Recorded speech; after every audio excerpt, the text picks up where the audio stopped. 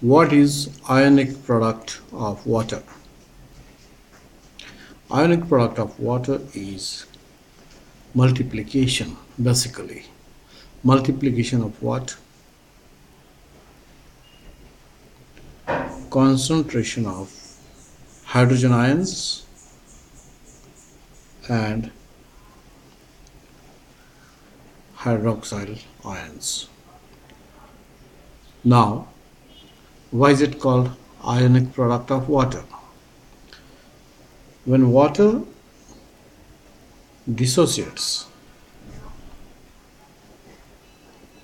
it dissociates into H plus and OH minus, and the reaction is reversible. So, at any given time, at a given temperature, we have a fixed proportion of H plus and OH minus.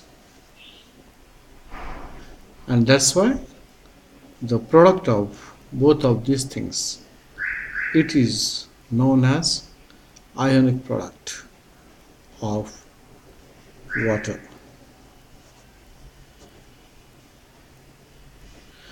Now let it be clear that at fixed temperature